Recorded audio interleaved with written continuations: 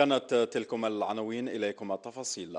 كشفت وزيرة التضامن الوطني والأسرة وقضايا المرأة منيا مسلم كشفت بأن عدد العائلات المعوزة والتي ستستفيد من إعانة شهر رمضان لهذه السنة سيفوق المليون وستمائة ألف عائلة. وأضافت منيا مسلم بأن الوزارة قد خصصت غلافا ماليا قدر ب 54 مليار سنتيم. كما الجفال عدد العائلات المعوزة لهذه العملية هو مليون وستمائة وستين ألف حوالي. الغلاف المالي الخاص بوزارة التضامن هو 54 مليار سنتيم. ما يقارب 7.7% من مجموع ما يجمع في صندوق هذه العملية التضامنية لشهر رمضان. كاين قطاعات أخرى آه، تشارك في هذا الصندوق في هذه العملية التضامنية عفوا لشهر رمضان. وفي السياق ذاته أعلنت الوزيرة منيا مسلم بأن الإعانات الغذائية ستسلم للعائلات المعوزة أسبوعا فقط قبل شهر رمضان وشددت في ذات صدد على وجوب احترام كرامة المواطن وخصوصية كل منطقة. أكدت على انه خصوصية كل منطقة الإعانات ما لازمش تكون في كل المناطق متشابهة. كاين مواد أساسية تجمع كل المواطنين 48 40 ولاية كيف كيف ولكن كاين احتياجات تاع مواطن في الغذاء نتاعو تاع الجنوب ما تشابهش تاع الشمال لازم ناخذوها بالاعتبار حتى نكونوا efficaces في هذه العملية. أسبوع من قبل أسبوع من قبل علاش؟ parce que لازم المواطنين كي يدخل عليهم رمضان الشريحة المعوزة يكونوا كذلك هما موجودين رمضان ككل العائلات الجزائرية ما يكونوش يخموا أسبوع من قبل لازم يكون عندهم كل الإعانات إن شاء الله. أمر رئيس الجمهورية السيد عبد العزيز بوتفليقة بإيجاد حل نهائي فيما يخص قضية غردايا واعتماد لغة الحوار كأحسن حل لاستئصال الأزمة من جذورها قبل حلول شهر رمضان الفضيل من أجل حماية الأشخاص والممتلكات. حيث سيشرع الوزير الأول عبد المالك سلال في زيارة إلى ولاية غردايا رفقة طاقمه الحكومي خلال الأيام القادمة. وقال عبد المالك سلال أمس في رده عن أسئلة أعضاء مجلس الأمة حول مخطط عمل الحكومة سنجد الحل النهائي للوضع في ولاية غردايا في الأيام القليلة القادمة باعتماد لغة الحوار.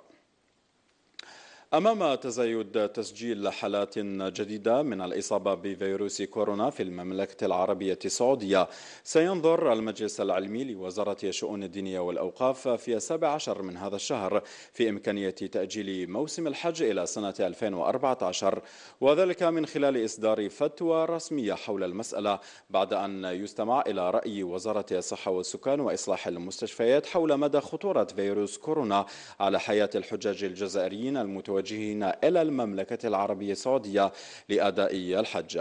وفي حال تبين بأنه لا داعي لتأجيل الموسم ستعمد الوزارة إلى دعوة المرضى وكبار السن والحوامل إلى تأجيل حجهم إلى موسم لاحق.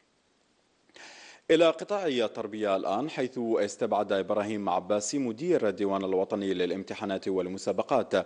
استبعد في تدخل له على أمواج الإذاعة الوطنية القناة الثالثة مراجعة نظام الانتقال إلى الجامعة وتطبيق نظام الإنقاذ في نتائج هذا بكالوريا دورة جوا من سنة 2014 C'est l'un des, des, aspects euh, donc on doit revoir dans euh, disons, la, la, la refonte du système euh, d'examination, parce qu'on ne peut pas évaluer vraiment de façon objective à, à un centième de point.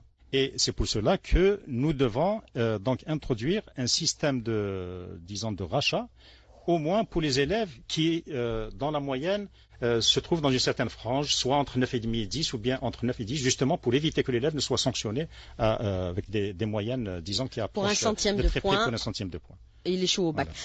Mais pas pour cette année. Pour cette non, année, non, non. faut Pour les cette, 10. pour cette année, on reste sur le même euh, mode de fonctionnement. انطلقت الحملة التدريبية للضباط العاملين المتخرجين بالمدرسة العليا البحرية محمد بوتيغان والتي تهدف إلى تكوين ضباط البحرية بتطبيق المعارف النظرية من خلال الاحتكاك بالمسرح البحري. العملية تمت بإشراف اللواء مالك نسيب قائد القوات البحرية والذي أشرف على تفتيش السفينة المدرسة الصمام. هذا وستكون هذه المهمة تحت قيادة العميد قريش محمد والعقيد جايد نور الدين قائدا للسفينة. التفاصيل في ميكروفون محمد بومجو.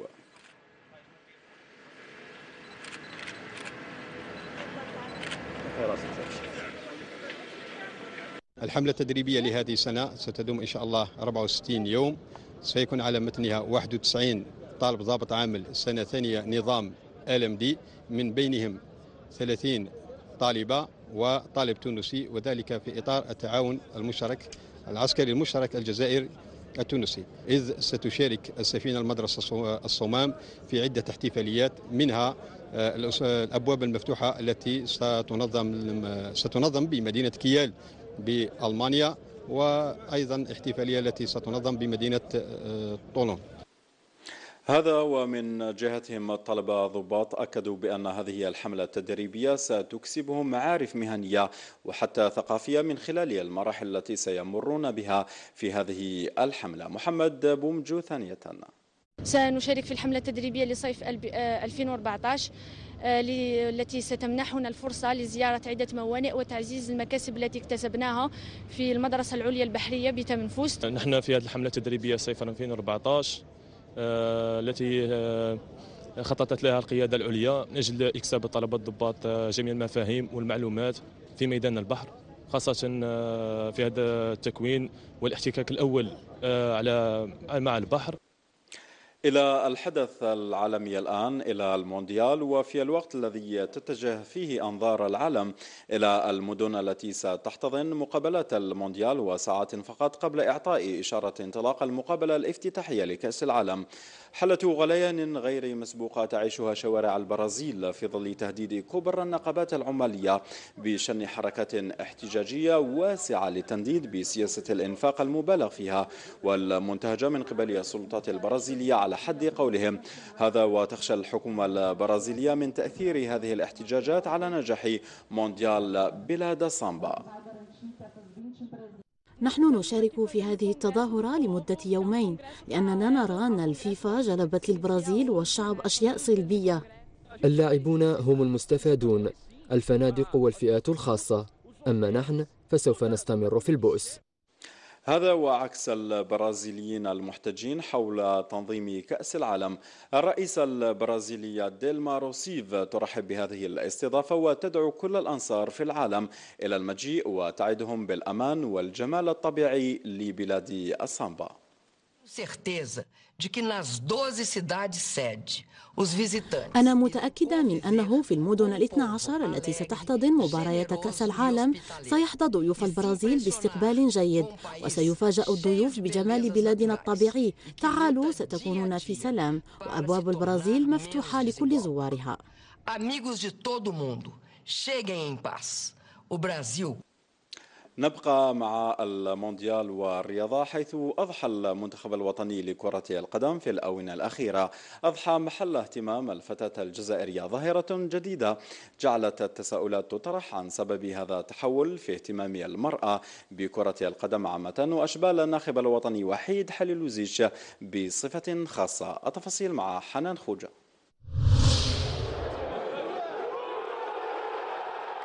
لم يعد يقتصر هوس متابعة مباريات كرة القدم على الرجال فقط بل امتد ليشمل الجنس اللطيف. في ظاهرة بدأت بوادرها مع تأهل المنتخب الوطني إلى نهاية كأس العالم بجنوب إفريقيا. وتطور بعدها بشكل لافت مناصرة المرأة الجزائرية للخضر لم تقتصر على شاشة التلفزيون فقط بل تعدته إلى حضورها في المدرجات كما كان الحال في المباراة الودية التي جمعت الخضر مع الأوروغواي. وتكرر في لقاء الجزائر أمام صربيا انتهاء بمباراة البوسنة. وليس ذلك بالغريب فحب المرأة للألوان الوطنية لا يقل عن ولع الرجال بها. نحب l'équipe nationale على جل البلاد parce que الروح الوطنية ساكنة فيا. على جل البلاد هذه اللي اسمها الجزائر. وإن شاء الله يفرحونا و... juste على جل العلم الجزائري باش نرفعوا بلادنا قدام الدول الأخرى هذا ما كان. لكن بالمقابل بعض المناصرات لا يهمهن من لقاءات الخضر سوى عيون اللاعبين. ونحب بوكو بليس بوقرة وتلمو نحب بزاف بوقرة عندي عندي البيل تاعو في الدار. سيبورتير ليكيب ناسيونال على جال لي جوار حليش شكل ملان يونيون اون بليس على جال تمورت داغن باسكو نكوني كان تمورت تعرفتي عندنا المونديال. مناصرة النساء للخضر وإن اختلفت ميولاتهن دعم إضافي لشبال حليلوزيتش لرفع الراية الوطنية عاليا في مونديال البرازيل.